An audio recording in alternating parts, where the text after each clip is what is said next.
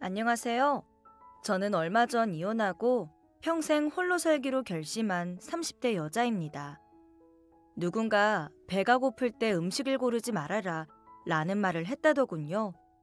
아마 궁지에 몰렸을 때는 잘못된 선택을 하기 쉬우니 조심하라는 뜻으로 한 말이었을 겁니다. 예전이라면 그런 말 자체를 모르기도 했지만 들었어도 머리로만 끄덕거리고 별로 심하게 생각하지 않았을 겁니다. 하지만 지금은 누구보다 절실하게 그 말의 의미를 깨닫고 있죠. 저 또한 오랜 시간 저를 괴롭혔던 외로움을 피한다는 명목으로 잘못된 선택을 하고 말았거든요. 평생 알고 싶지 않았던 인생의 진리를 깨닫게 된 일을 지금부터 썰맘 구독자 여러분들께 말씀드리겠습니다.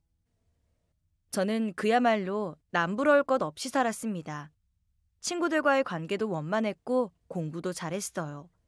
그리고 그 모든 것들은 전부 저희 부모님에게서 받은 것들이었습니다. 아버지는 사업을 하셨는데 젊은 나이에 큰 돈을 버셔서 집안이 넉넉했고 덕분에 어머니는 전업주부로 집안 살림을 도맡아 해주셨어요. 경제적으로도 정서적으로도 풍족했기 때문에 제가 그토록 안정적인 학창 시절을 보낼 수 있었네요. 그렇게 저는 고등학교까지 무사히 마치고 좋은 대학교에 들어갔습니다. 그때까지 살면서 뭔가 어려운 일을 겪어본 적이 없어서 그랬는지 성인이 된 것 치고는 꽤 순진한 편이었어요. 하지만 늘 행복하기만 한 삶이라는 건 없는 건지 제게도 불행이 찾아왔습니다. 제게는 공기나 물과 같았던 부모님께서 불과 2년 사이에 돌아가시고 만 겁니다. 아버지는 특별히 건강한 체질은 아니셨어요. 거래처와 술자리가 있었던 다음 날은 여느 직장인들처럼 주말 내내 골골거리셨죠. 야근이 이어지면 지쳐서 퍼지시기도 했고요. 하지만 특별히 병이 있다거나 아픈 곳이 있으셨던 건 아니었는데 어느 날 갑자기 폐암 판정을 받으셨습니다. 평소 스트레스가 심하시면 늘 찾으시던 담배가 결국은 아버지의 생명까지 앗아가고 만 것이었죠. 아버지는 꼬박 1년을 병상에서 지내다가 돌아가셨습니다. 어머니는 아버지가 돌아가시고 1년 뒤에 병환으로 돌아가셨고요. 그렇게 저는 대학도 졸업하기 전에 고아가 되었습니다. 사실 정말 어렵게 사셨던 분들도 많으실 거고 평생 부모님 얼굴 한번 못 보고 사신 분도 계실 텐데 그런 분들 앞에서 고아라는 말을 꺼내는 것이 많이 조심스럽기는 합니다. 저희 부모님은 제가 성인이 된 후에 돌아가셨고 돌아가신 후 제게 남겨주신 유산도 많았습니다. 대학교를 졸업하는 데는 아무런 문제가 없었고 졸업한 후엔 괜찮은 회사에 취직도 잘했죠. 부모님이 안 계시다 뿐이지 다른 문제가 있었던 건 아니었어요. 하지만 제겐 그 하나가 너무나 큰 문제이고 아픔이었습니다. 누구나 꿈이 있고 많은 사람들이 돈 많이 버는 게 꿈이라고 하겠지만 저는 어렸을 때부터 풍족하게 살았기 때문인지 돈을 더 벌고 싶은 생각 같은 건 없었어요. 그저 필요한 것을 필요한 때에 살 수만 있다면 그 이상의 돈은 필요하지 않았습니다. 그러나 부모님이 안 계신 건 다른 문제였습니다. 제게 좋은 일이 생겼을 때 저보다 더 기뻐해 주시던 분들, 슬픈 일이 생겼을 때는 저만큼 슬퍼해 주시고 또 위로해 주시던 분들이 더 이상 이 세상에 없다는 사실이 너무나 허전하고 그냥 세상에 저 혼자만 남겨진 것 같은 기분이었습니다. 그래도 산 사람은 살기 마련이라고 저 또한 부모님이 돌아가신 후에도 나름대로의 삶을 잘 꾸려 나갔습니다. 어머니가 돌아가시기 전 당부하셨던 말씀도 있고 해서 일단 대학부터 잘 마쳤고 말씀드린 대로 취직도 했습니다. 지금 와서 생각해보면 그땐 정말 무슨 정신으로 그걸 다 해냈는지 싶어요. 하루에도 몇 번씩 부모님이 안 계신 빈자리를 보며 눈물을 흘렸지만 그래도 저는 꿋꿋이 제 할 일을 했습니다. 다만 좋게 말해 제 할 일을 한 거지 미래에 대한 무슨 계획 같은 걸 세우지는 못했네요. 회사에 취직한 후로는 차라리 그런 제 삶의 태도가 오히려 도움이 되었습니다. 사람이 욕심을 버리니 마음 쓸 일이 적어지더라고요. 부모님이 남겨주신 유산이 있으니 돈에 얼매여 욕심 부릴 일도 없었고 회사도 주어진 일은 열심히 하지만 굳이 새로운 일을 만들거나 하진 않았습니다. 그냥 있는 듯 없는 듯 번거로운 일은 피하고 요란한 일은 비껴가면서 그렇게 조용하게 살았네요. 회사에는 집안 얘기를 아예 하지 않았습니다. 괜히 그것 때문에 사람들 입에 오르내리는 것도 싫었죠. 다만 시간이 지나면 지날수록 외로움은 점점 더 심해졌습니다. 누군가는 연애를 좀 해보라고 했지만 어째서인지 텅 비어버린 가슴엔 누군가를 담을 자리가 없었습니다. 친구나 회사 동기의 등살에 못 이겨 소개팅을 나가면 괜찮은 분들도 많이 나왔어요. 하지만 그때뿐이었습니다. 마주 앉아서는 하하호호 웃으며 이야기를 나누지만 집에 돌아오면 또다시 허전했어요. 그 사람들이 텅 빈 제 마음을 채워주진 못했고 같이 있으면서도 외로운 연애 같은 건 하고 싶은 생각이 없었습니다. 그렇게 공기처럼 몇 년을 살았습니다. 아버지가 남긴 건물과 부동산은 세금도 그렇고 관리하기도 벅차서 전부 다 팔아서 통장에 현금으로 넣어두었어요. 거기서 나오는 이자가 만만치 않았지만 들여다보지도 않았습니다. 저는 그냥 다달이 받는 월급 딱 그 수준으로 살았고 회사 집 말고는 다른 곳에는 가볼 생각조차 하지 않았죠.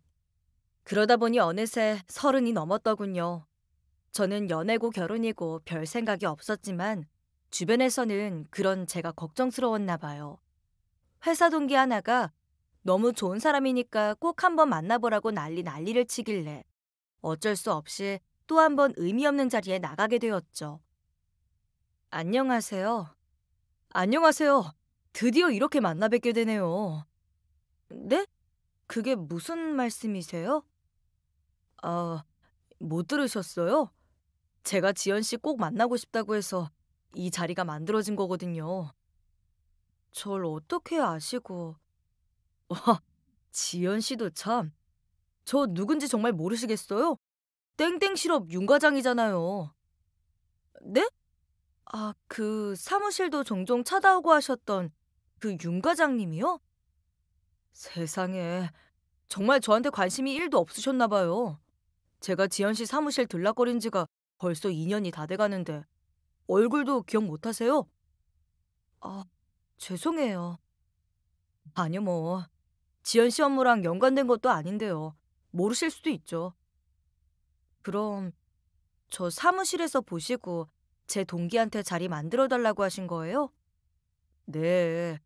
안 그랬으면 얼굴도 기억 못하는 사람 만날 일이 있으셨겠어요? 아, 근데 죄송해서 어떡하죠? 전 아직 누굴 만날 상태가 아니라서요. 괜찮습니다. 아무리 남자 여자라도 만났다고 막 사귀고 그럴 필요는 없잖아요.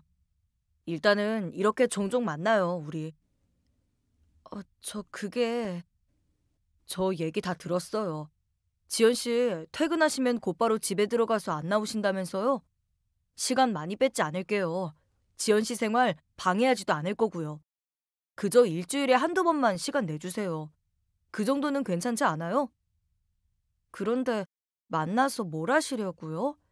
전 윤 과장님에 대해서 아는 게 하나도 없는데요.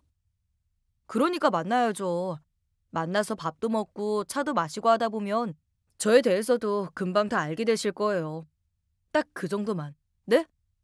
지연 씨도 식사는 하실 거잖아요. 그렇긴 한데. 선선한 인상에 입담도 좋았던 남자는 심지어 저돌적이기까지 했습니다. 그전에도 적극적으로 대시하던 남자가 없었던 건 아니었지만 하도 제가 벽을 치니까 대부분 제 풀에 지쳐 포기했어요.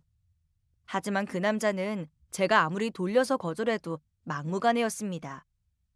자기가 좋은 사람인지 어떤지 최소한 알아보거나 거절하라고 하는데 제가 할 말이 없더군요. 그렇게 한 번, 두 번 만남은 계속 이어졌고 저는 서서히 그 남자에게 빠져갔습니다.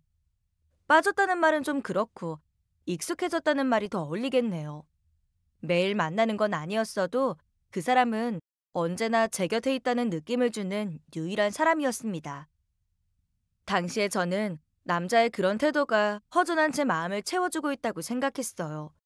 문득 세상에 혼자 있다는 생각이 들 때면 어김없이 그 사람에게 전화나 문자가 왔고 혼자 있기 쓸쓸한 날에는 꼭 불러내서 밥을 먹거나 차를 마셨죠.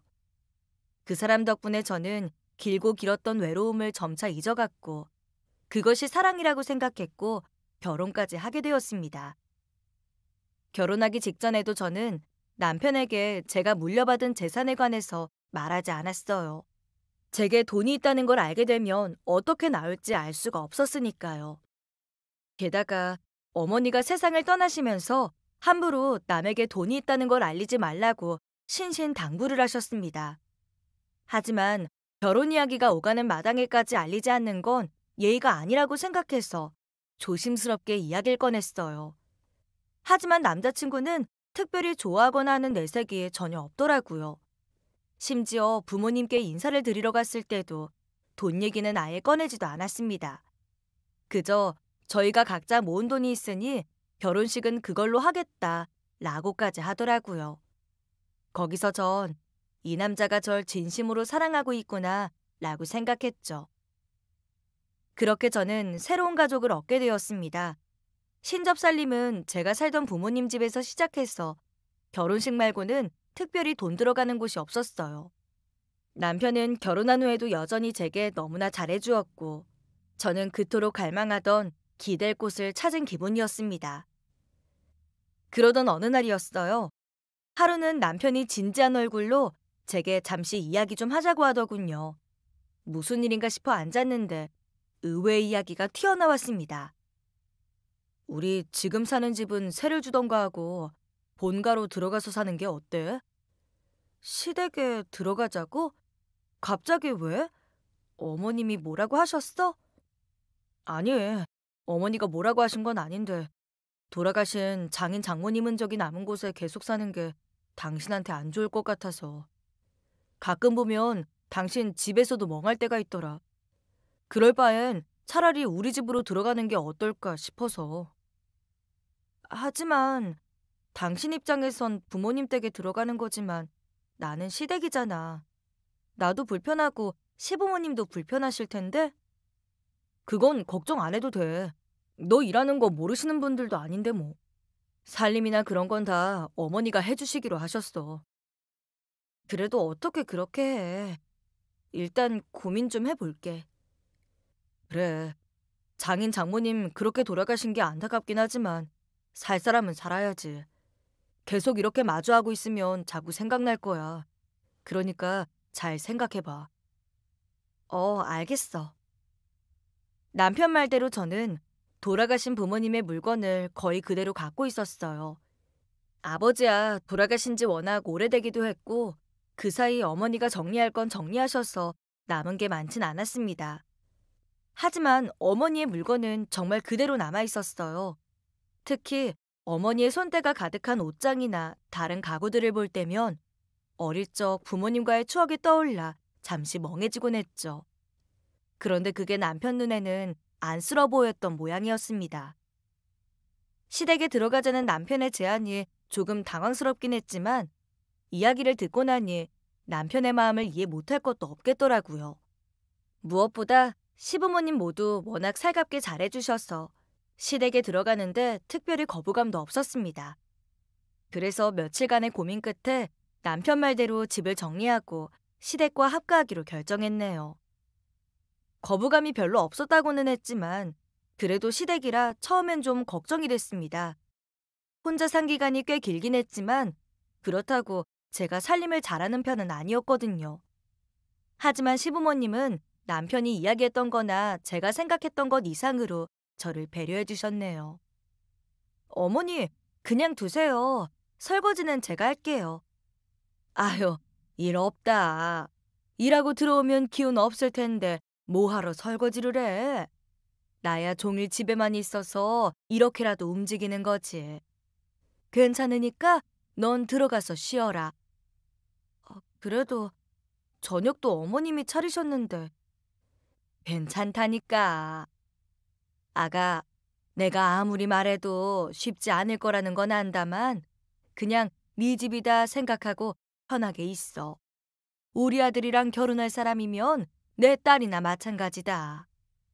시어머니는 제가 부엌에 들어가면 무슨 큰일이라도 나는 것처럼 주방 일을 못하게 하셨고, 그 밖에 청소나 빨래도 전부 다 직접 하셨어요. 한편으로는 내가 그렇게 못 믿어온가 싶은 생각이 들었지만, 시간이 지나면서는 시어머니가 진심으로 절 배려해주고 계시다는 걸 알게 되었죠. 그러자 시댁인데도 마음이 훨씬 편해졌습니다. 솔직히 시댁 불편한 게 시부모님 상대하는 것도 있지만 집안 살림 문제도 크잖아요. 저는 그게 없으니 시부모님과 부딪힐 일이 없더군요. 물론 그것만 가지고 제 집처럼 편해지지는 않았지만 그래도 훨씬 편하게 지낼 수는 있었습니다. 그런데 문제는 전혀 엉뚱한 곳에서 생겼어요. 제가 원래도 그렇게 막 건강한 체질은 아닙니다. 감기는 연중 행사고 자잘한 병치레도 잦은 편이에요.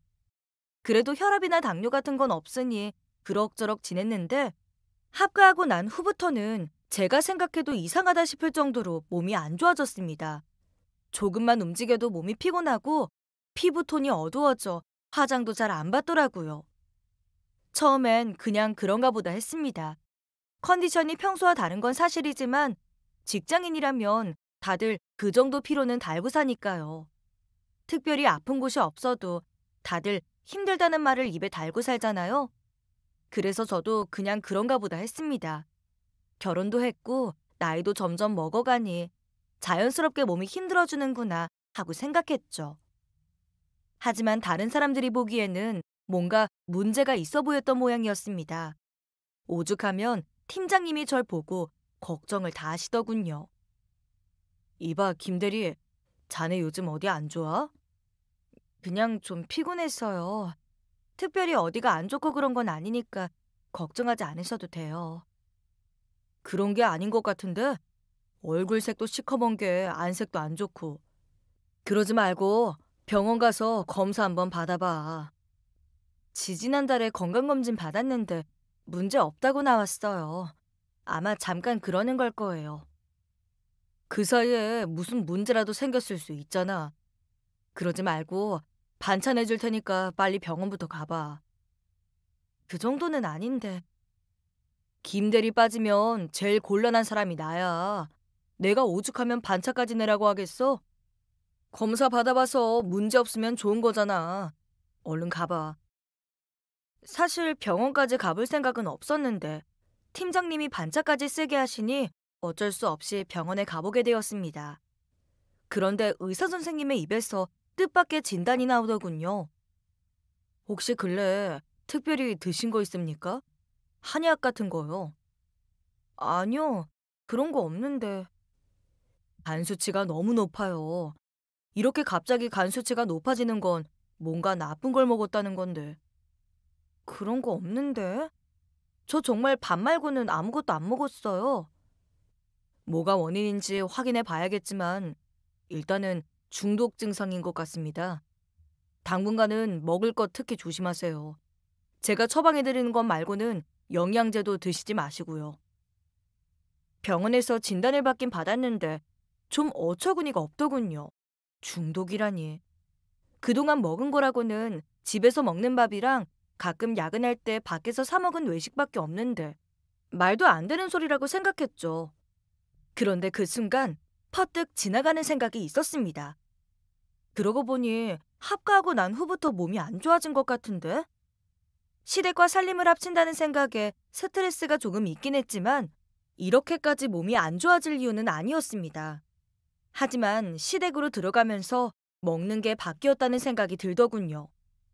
전에 남편과 단둘이 살 때는 제가 밥을 하거나 아니면 배달을 시켜 먹었는데 그때는 아무런 문제가 없었어요. 그런데 까마귀 날자 배 떨어진다고 시댁으로 들어가자마자 중독 증상이 생긴 겁니다. 시부모님 모두 저를 너무 많이 배려해 주시고 남편도 언제나 제 생각뿐인데 그럴 리가 없다고 생각하면서도 뭔가 석연치 않은 느낌을 떨쳐버릴 수가 없었습니다. 그래서 그날부터 이런저런 핑계를 대서 집밥을 먹지 않았어요. 아침은 회사 일이 많아져서 평소보다 일찍 나가야 한다는 핑계를 댔고 점심이야 당연히 밖에서 먹었죠. 저녁도 야근을 핑계로 밖에서 먹고 들어갔습니다. 그 사이에도 팀장님의 배려로 계속 병원에 갔고요. 그러자 정말 거짓말처럼 컨디션이 돌아오더군요. 간 수치도 다시 원래대로 돌아오기 시작했고요. 아예 아무 생각이 없었으면 몰라도 시댁에 들어가면서부터 몸이 나빠지고 또 시댁 밥을 끊자마자 몸이 다시 좋아지니 이젠 부정할래야 부정할 수가 없었어요. 제 간이 안 좋아진 건 분명 시댁에서 먹은 밥 때문인 거였죠. 하지만 그것도 그것대로 이상했습니다.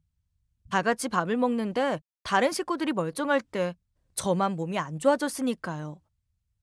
이 답답하고 황당한 상황을 어디 하소연할 곳도 없고 어떻게 해야 하나 고민하던 찰나 우연히 회사 동료에게 그런 이야기를 털어놓게 되었습니다. 동료는 제 이야기를 가만히 듣더니 심각한 표정으로 그러더군요. 너 이거 꼭 짚고 넘어가야 돼. 짚고 넘어가? 뭘? 아, 뭐긴 뭐야. 당연히 시댁 식구들이지. 에이, 시댁 식구들이 왜? 시부모님도 그렇고 남편도 그렇고 다들 얼마나 잘해주시는데. 열길 물속은 알아도 한길 사람 속은 모른다 그랬어. 겉으로 친절하게 굴고 뒤에서 뒤통수 치는 사람이 어디 한둘이야? 그리고 핑계도 한두 번이지. 계속 시댁밥 안 먹을 수 있겠어? 너 이거 목숨이 달린 일이야. 얼렁뚱땅 넘어가지 말고 꼭 확인해봐. 근데 이걸 어떻게 확인해? 무슨 일이 언제 일어나는 줄 알고. 잘 됐다. 마침 우리 초코 새끼 나왔는데 너 한 마리 데려가. 초코? 네가 키우는 그 말티즈? 안 돼. 우리 집도 아니고 시댁인데 어떻게 갑자기 개를 키워. 그리고 여기서 강아지 얘기가 왜 나오는데? 이렇게 융통성이 없어서야 원. 잘 들어봐. 동료는 답답하다는 듯 가슴을 치며 제게 방법을 알려주었습니다. 그런데 그 방법이 제가 들어도 정말 기가 막힐 정도로 좋은 방법이었어요. 집에서 강아지를 키운다는 명분으로 반려동물용 CCTV를 설치하라는 것이었죠. 동료네 집에도 설치했는데 화질도 좋고 소리도 다 녹음이 된다더군요. 여전히 시댁을 의심하는 게 찝찝하긴 했지만 동료 말대로 확인도 안 해보고 넘어갈 수는 없는 상황이었습니다. 그래서 다음날 바로 강아지와 함께 CCTV를 받아들고 집으로 돌아갔어요. 시댁 식구들은 제가 갑자기 강아지를 데리고 들어가자 조금 놀란 눈치였습니다. 하지만 언제나 그랬던 것처럼 시부모님도 남편도 제가 키우고 싶다는 걸 반대하진 않았어요. 다만 CCTV를 설치할 때는 좀 말이 나왔습니다. 예, 그게 뭐니? 반려동물용 CCTV예요. CCTV?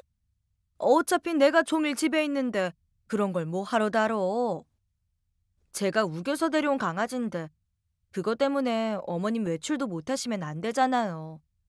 그래서 설치하는 거예요. 그거 달면 회사 가서 너 집안 다 들여다보고 그러는 거 아니니? 어머니 집에 계신데 제가 뭐하러 CCTV를 봐요. 어머니 외출하시거나 할 때 미리 알려주시면 그때만 볼 거니까 걱정 안 하셔도 돼요. 이거 막 녹화도 되고 녹음도 되고 그러는 거 아니니? 아니요.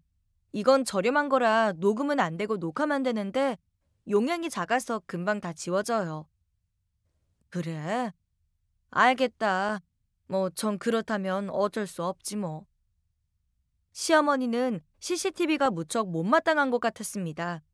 하지만 성능도 구리고 강아지가 아직 너무 어려서 어쩔 수 없다고 설득한 끝에 간신히 거실에 설치할 수 있게 되었네요. 사실 동료가 준 CCTV는 최신식이라 다 확인할 수 있었지만요. 그런데 그날 밤 잠이 오지 않아 뒤척이는데 밤 12시쯤 코까지 골며 잘 자던 남편이 갑자기 일어나더군요. 평소라면 그냥 그런가 보다 했을 텐데 이상하게 그날은 뭔가 느낌이 쎄했습니다. 그래서 남편이 일어나는데도 그냥 모른 채 했죠. 그런데 침대에서 일어난 남편은 제 앞에 손을 흔들며 잠들었는지 확인까지 하더군요. 그때쯤 되자, 아, 이거 뭔가 있구나 싶은 생각이 들었네요. 저는 남편이 방을 나서자마자 곧바로 핸드폰의 CCTV 앱을 켰습니다. 그러자 곧 저를 뺀 나머지 식구들이 부엌에 모여있는 화면이 나오더군요. CCTV의 마이크를 통해 들려오는 세 사람의 대화 내용은 너무나 충격적이었습니다. 인연이 생각보다 오래 버티네. 왜 아직 아무 소식이 없는 거야? 너 그 버섯 제대로 가져온 거 맞아? 시어머니의 말에 대답한 건 남편이었습니다. 아, 진짜. 그거 효과 확실하다니까요. 약으로도 쓰이긴 하는데 오래 많이 먹으면 간이 망가져서 그냥 간다고요. 그런데 왜 여적 소식이 없어? 요즘 회사 일 때문에 집에서 밥 잘 안 먹었잖아요. 그러니까 괜히 간 보지 마시고 그냥 확 때려 넣으시라니까. 아, 왜 거기서 주저하셨어요? 야, 이 녀석아. 넌 그게 애미한테 할 소리냐? 네 놈이 코인인지 뭔지 해서 빚만 안 졌어도 내 손으로 사람한테 돈 먹이는 짓은 안 해도 됐을 거 아니야. 어머니, 목소리 낮추세요. 이러다 쟤 듣겠어요. 어우, 진짜. 네가 진 빚 때문에 한 달 나가는 이자만 몇백이다. 언제까지 우리가 이러고 살아야 돼? 걱정하지 마세요. 이제 거의 다 됐어요. 요즘 잠깐 버섯 안 먹어서 안색이 좋아지긴 했지만 곧 다시 집에서 밥 먹기 시작할 거예요. 그럼 그 여자 재산 전부 우리 게 된다고요. 그 여자 재산 많은 건 확실하지? 어머니는 설마 제가 그것도 제대로 안 알아보고 작업 시작했을 것 같으세요? 널 못 믿는 건 아니다만 전혀 하고 다니는 꼬라지가 영 그렇잖아. 돈이 그렇게 많은 애가 왜 저렇게 찌질하게 하고 다닌다니? 지부모 돈이라 못 쓰겠대요. 덕분에 그 돈 고스란히 우리가 갖게 됐으니 오히려 잘 된 거잖아요. 뭐 그렇긴 그렇다만. 어쨌든 나도 겁나서 이 짓도 오래 못하겠다. 혹시나 실수해서 식구들 먹는데 버섯 넣을까봐 밥할 때마다 손이 다 떨려. 한 달만, 딱 한 달만 더 참아주세요. 저 여자 버섯 먹고 간 망가지면 이식밖에 방법이 없다는데 그때 모른 체 하면 다 끝날 거예요. 세 사람의 대화를 듣는데 저도 모르게 핸드폰을 든 손이 바들바들 떨렸습니다. 다른 사람과 다르게 철벽을 치는데도 남편이 계속 들이댔던 것도 결혼하고 얼마 안 돼서 합가하게 된 것도 그리고 합가하자마자 간이 나빠졌던 것도 전부 제 재산을 노린 세 사람의 음모였던 겁니다. 부모님이 세상을 떠난 후 이 세상에서 유일하게 믿을 수 있는 사람은 남편과 자식보다 더 잘 챙겨주시는 시부모라고 생각했는데 그 모든 것이 사실은 그저 제가 가진 재산을 노린 것이었다니. 그들의 만행은 제게 단순히 배신감을 넘어 인간 자체에 대한 불신과 혐오마저 들게 만들 지경이었습니다. 하지만 곧 이게 끝이 아니라는 생각이 들더군요. 그들은 제게서 재산을 빼앗기 위해 독까지 먹인 인간들이었습니다. 적당이라는 건 애초에 있지도 않았고 목적을 달성할 때까지는 절대로 멈추지 않을 것이 뻔했어요. 그 인간 같지 않은 것들을 철장에 처박지 않으면 저는 무사할 수 없을 거라는 걸 깨달았습니다. 그러자 곧 배신감과 혐오감으로 달아올랐던 머리가 차갑게 가라앉더군요. 덕분에 저는 남편에게 들키지 않고 그날 밤을 넘길 수 있었어요. 그리고 바로 다음날 퇴근 무렵 저는 CCTV에 녹화된 메모리를 가지고 경찰에 고발했습니다. 그러자 곧장 증거를 확보하고 범인들을 체포하기 위해 경찰들이 출동했죠. 예상대로 집에는 시부모와 남편이 전부 있었습니다. 그날 제가 집에서 저녁을 먹겠다고 미리 이야기를 해두었기 때문이죠. 그들은 제가 집에 들어가자마자 어서 와서 밥부터 먹으라며 반겼습니다. 하지만 곧 따라 들어온 경찰들을 보고 사색이 되더군요. 여보, 저 사람들은 누구야? 왜 경찰을 데리고 왔어? 남편은 마치 아무것도 모른다는 듯 끝까지 발뺌했습니다. 하지만 제 눈에는 이미 그놈은 인간이 아니었어요. 몰라서 물어? 사람을 죽이려고 했으면 실패했을 때 치를 대가까지도 각오했어야지. 뭐? 그게 무슨 소리야? 사람을 죽이다니. 누가 누굴 죽인다 그래? 저는 끝까지 발뺌하는 놈에게 핸드폰에 저장된 CCTV 영상을 보여주었습니다. 자기들의 대화가 전부 녹음되었다는 걸 깨달은 남편은 한참 간이 안 좋을 때의 저의 안색처럼 시커멓더군요. 여보, 그거 다 오해야. 내가 설명할게. 일단 내 얘기부터 들어봐. 남편은 끝까지 아니라고 발뺌했습니다. 하지만 그 사이 부엌에서 남편이 말한 버섯을 찾은 경찰이 나왔어요. 증거 찾았습니다. 야, 이거 저도 아는 버섯인데 이걸 사람한테 먹일 생각을 하다니 지독한 놈들이네 아주. 버섯 가루가 든 봉지를 든 경찰은 질렸다는 듯 고개를 절레절레 흔들었습니다. 그때쯤 되자 그 연놈들도 결국 포기하더군요. 세 사람은 별다른 반항도 못한 채 살인미수 현행범으로 체포되었죠. 세 사람이 체포되고 재판이 진행되면서 그동안 몰랐던 사실들이 쏟아져 나왔습니다. 알고 보니 그놈은 거액의 빚까지 져가며 이름도 생소한 코인에 투자했다가 전부 날려먹었더라고요. 대출액이 워낙 커서 이자만 한 달에 몇백 단위로 나오는 데다가 사채까지 끌어다 쓴 바람에 중내 산해했던 모양이더라고요. 그런데 그 과정에서 저에 관한 이야기를 들은 것이었습니다. 남에게는 재산을 알리지 않았는데 어떻게 알았는지 원. 제게 돈이 많다는 거랑 그놈은 작정하고 제게 접근했고 간이고 쓸개고 다 빼줄 것처럼 해서 결혼까지 한 것이었어요. 수법도 교묘한 게 그 과정에서 혹시나 제게 들킬까봐 빚을 전부 집 부모한테 돌려놓았더라고요. 그러니 결혼한 후에도 저는 까맣게 모르고 있었던 거였고요. 원래는 결혼하자마자 곧바로 작업을 하려고 했는데 저희 집에서는 이래저래 여의치가 않으니 핑계를 대서 시댁과 합가해놓고 작업을 했던 것이었습니다. 재판에서 검사에 의해 연놈들의 만행이 밝혀지자 판사까지도 질렸다는 듯 혀를 내두르시더군요. 세 사람은 당연히 유죄 판결을 받았고 곧장 깜빵에 들어가게 되었죠. 당연히 이혼도 했습니다. 그 와중에도 그놈은 재산 기어 어쩌고 하면서 돈을 조금이라도 받아가려고 발악을 하더군요. 하지만 집을 포함해 제가 받은 유산에 그놈이 기여한 건 전혀 없었으니 택도 없는 일이었죠. 오히려 결혼 생활 파탄에 책임이 있어 위자료까지 물어주게 되었습니다. 그래봐야 그나마 있는 시댁 팔고 해도 빚밖에 안 남는 상황이니 받을 수 있는 돈은 아니었지만요. 그렇게 모든 일이 끝났습니다. 저는 다시 혼자가 되었어요. 하지만 제 마음은 예전과 같지 않았습니다. 부모님 두 분 모두 세상을 떠나고 저 혼자 남았을 때는 막연한 외로움에 파묻혀 저 혼자 불행한 사람처럼 지냈어요. 하지만 그런 일을 겪고 나니 강해져야겠다는 생각이 들더군요. 제게는 그저 외로움이었지만 남에게는 이용해 먹을 수 있는 빈틈이었고 그 틈 때문에 하마터면 목숨을 잃을 뻔했으니까요. 그래서 지금도 저는 여전히 외롭지만 전처럼 나약해지지 않으려 노력하고 있습니다. 부모님이 남겨주신 재산도 마냥 통장에 넣어놓지 않기로 했어요.